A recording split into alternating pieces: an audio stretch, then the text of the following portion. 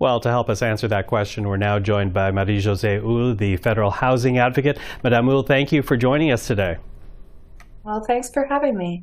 Now, your office says if Canada is going to find its way out of this housing crisis, it needs to focus on purpose built rental homes. So, from what you saw in last week's economic update, is the government doing enough to get those housing units built?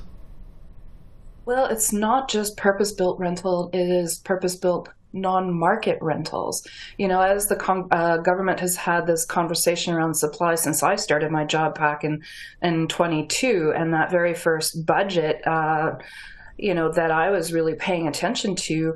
You know, it was the conversation's always been supply, supply, supply. The important part is the right kind of supply. And when we're looking at investing taxpayers' funds, which is really precious, this is the 82 or now a hundred billion dollar, you know, once in a generation type of investment that the federal government is looking at doing. It has to be uh, invested in the right place. And it also needs to provide real results for people. So as we're looking at, um, you know, affordability being one of the biggest questions for a lot of people across the country, um, you know, is it going to be affordable beyond the first buyer or the first renter? And when we're looking at the track record of non market housing, they're the only ones that can actually produce housing and keep it affordable in perpetuity. And that is the biggest bang for taxpayers' dollars. Okay, well, let's talk a bit more about that because there was money set aside for, for social and cooperative housing. Does that uh, address any of your concerns?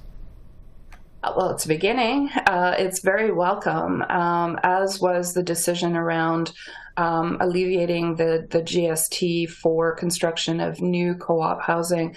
Those some of the things that we're, we were looking for and we're certainly going to be looking for with this upcoming budget is an acquisition fund as well because Canada is losing more housing that is affordable than we are actually been able to build and at an astro- uh, uh, like astronomical rate in fact um, due to financialization of housing due to uh, you know investment um, or are treating housing as an investment. And we've seen that in, in um, homes, single detached homes, but also very pronounced in the purpose built rentals. So we're looking at uh, and you know we're hoping to see an acquisition fund so that nonprofits and housing co-ops can purchase uh, some purpose-built rentals that are um, you know still perhaps affordable um, naturally you know through through the time especially in places where they have um, uh, rent control and where people have been living there for a long time and to really protect uh, the people's tenancies there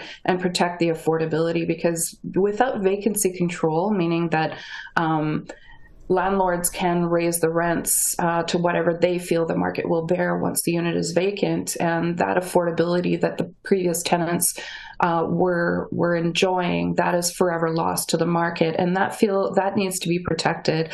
Right now, financialized actors, meaning real estate investment trusts, pension fund. Um, pen, pension fund ac- uh, acquisitions and asset managers own over well between 20 and 30 percent of the rental stock in Canada. Doesn't seem like much but uh, it's usually very targeted and very concentrated. So, for example, Little Jamaica in Toronto, most of the housing there is now uh, owned by financialized actors, and we've got record amount of evictions, rent evictions, and uh, people that are rendered homeless. But it's also tearing apart the community, and in tearing apart a, a community that is um, you know, quite racialized, it also destroys the informal uh, economic networks as well as the local businesses. So the impact is very deep mm-hmm. and we're mm-hmm. looking at the harm. So these harms need to be addressed and that can be done through an acquisition fund so that nonprofits and housing co-ops can purchase these these buildings. Yeah, well, well as you say, and, and this stock is, is, dwindling. But at the same time, we're hearing, as you know, the Canada Mortgage and Housing Corporation, they say that this country needs to build some 3.45 million homes to meet demand by 2030. But interestingly, you say that the CMHC is actually underestimating that number. Uh, exactly by how much?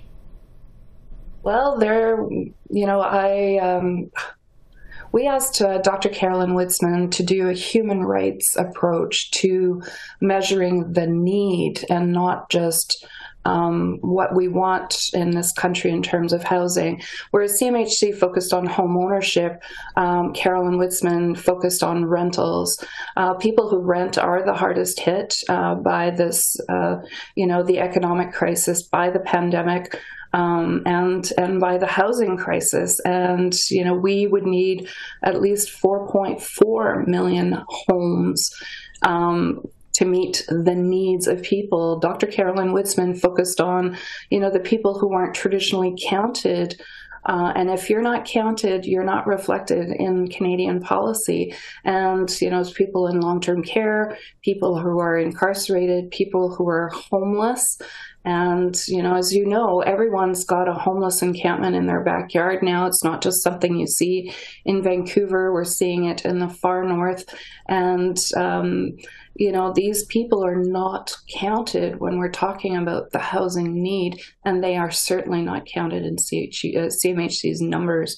And that's why we need to to think about, um, you know, the supply issue is not just about those who want or what the private market is willing to build.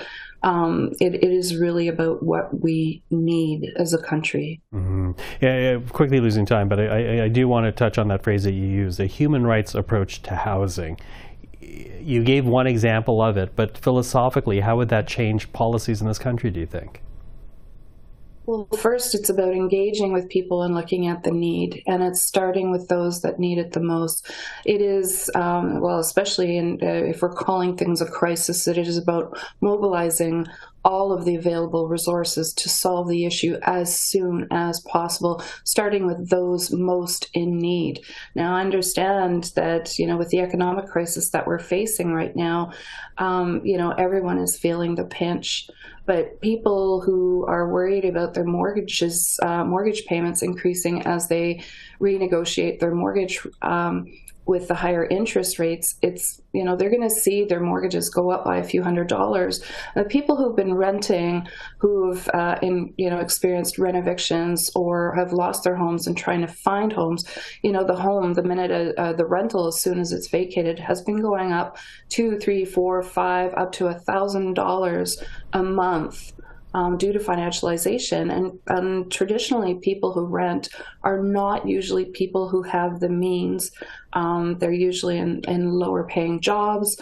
They are usually, you know, otherwise they might have put money together to buy a house. Uh, not everyone, but but a lot because this is kind of the housing model here in Canada um, and people who are uh, have mortgages pay themselves, whereas people who pay rent pay someone else's mortgage, and they're the mm-hmm. ones who are just the, that much more vulnerable.